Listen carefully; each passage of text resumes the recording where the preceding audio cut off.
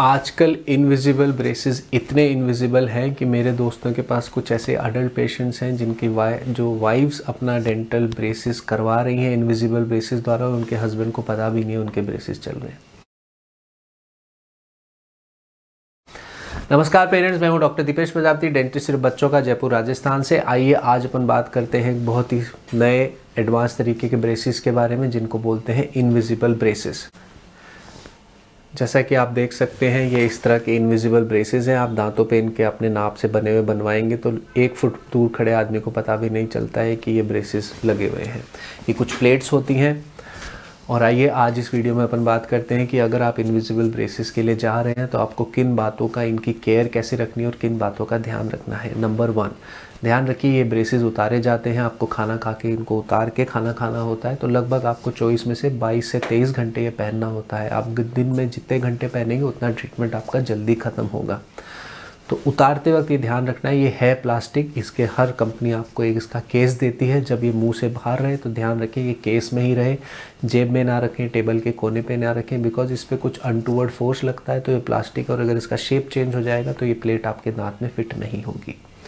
Point number दूसरा, जब भी आप ब्रश को दांत जब भी आप दांतों को ब्रश से साफ़ करेंगे, इन अलाइनर्स के लिए भी आप एक अलग से सॉफ्ट ब्रश लेंगे और उस पर अगर आपको टूथपेस्ट लगाना है तो नॉन वाइटनिंग वाली टूथपेस्ट लेंगे ताकि उसमें केमिकल कम रहे और प्लास्टिक को नुकसान कम पहुँचे।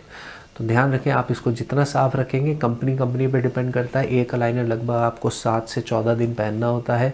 अगर आपका दांत पे रुका हुआ खाना उस अलाइनर को लगेगा बार बार तो वो दांत पीला पड़ सकता है और तो मुँह में से बदबू आनी और स्टार्ट हो सकती है। तो इन अलाइनर्स को भी ब्रश से आपको बिल्कुल साफ़ रखना है। नंबर तीन, ध्यान रखें, कंपनी ये बोलती है, बहुत हाई क्वालिटी बायोकम्पैटिबल प्लास्टिक है, पर ध्यान रखें, ये प्लास्टिक है, ये गर्म टेम्परेचर को या ज़्यादा हायर टेम्परेचर को नहीं सह सकता। इसको पी के आपको गर्मा गर्म चाय कॉफ़ी नहीं पीनी है, कार के डैशबोर्ड में नहीं छोड़ना है, क्योंकि ये प्लास्टिक है और थोड़ा सा भी अगर गर्मी या एक्सट्रीम ठंडे की वजह से मुड़ गया तो ये वापस दांतों में फिट नहीं होगा। चौथा, ध्यान रखें कि आप दिन में जितनी बार भी खाना खा रहे इसको उतार के ही खाएँ। हाँ कई बार इमरजेंसी में आपको खाना पड़ सकता है, पर ध्यान रखें, अगर आपके खाने में कोई सख्त चीज़ आ गई और उसने प्लेट पे ज़ोर से ज़ोर लगा दी और उसकी अगर शेप चेंज हो गई तो ये वापस हो सकता है, दांत के ऊपर ना बैठे। और ध्यान रखें, जित, आप इसको पहन के खाएँगे तो इसको उतना ही साफ़ करना मुश्किल रहेगा। तो आइडियली ये है कि आप चाहे स्नैकिंग भी कर रहे हो तो इसको उतार के ही आपको स्नैक करना है। लास्ट पांचवा पॉइंट जो आपको ध्यान रखना है, देखिए ये अलाइनर्स होते हैं, ये सेट होता है जो कि आपको टाइम टू टाइम चेंज करना होता है। किसी के 20 अलाइनर का ट्रीटमेंट होता है 40 60 ऐसे नंबर आपके कितने दांत टेढ़े मेढ़े, उस पर डिपेंड करता है कि आपको कितने अलाइनर पहनने हैं। हर अलाइनर की एक अलग फिट होती है। आपको कंपनी द्वारा एक च्यू करने का चूई दिया जाता है, जो कि आपको नया अलाइनर पहनने के बाद च्यू करके उसको पूरा फिट करना पड़ता है। कई बार ऐसा होता है कि आप हर अलाइनर चेंज में डेंटिस्ट के पास नहीं जा सकते हैं। अगर आपको दूसरे अलाइनर में थोड़ा सा भी आपको लगे कि मैंने अलाइनर चेंज किया और ये थोड़ा सा भी फिट नहीं हो रहा है तो प्लीज़ उस चीज़ को और डिले नहीं करें। बिकॉज़ अगर तीसरे नंबर का अलाइनर थोड़ा कम फिट होगा तो चौथा और ज़्यादा कम फिट होगा और पाँचवा शायद पूरा फिट नहीं होगा।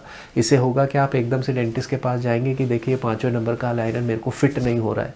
और फिर ये प्रॉब्लम हो जाएगी कि अपन को ट्रीटमेंट वापस से स्टार्ट करना पड़ेगा, नए अलाइनर बनेंगे और ये देखा जाएगा कि कौन सा अलाइनर गड़बड़ हो रहा था। इससे क्या ट्रीटमेंट का ड्यूरेशन बढ़ जाता है। अलाइनर ऐसे बोला जाता है कि सबसे फास्ट ट्रीटमेंट होता है नॉर्मल अमूमन वायर वाले ब्रेसेस के मुकाबले। पर आपको भी ये ध्यान रखना है कि अगर किसी भी अलाइनर में छोटा सा भी फिट का इशू आ रहा है तो आप तुरंत प्रभाव से उसको डेंटिस्ट को दिखाएँगे।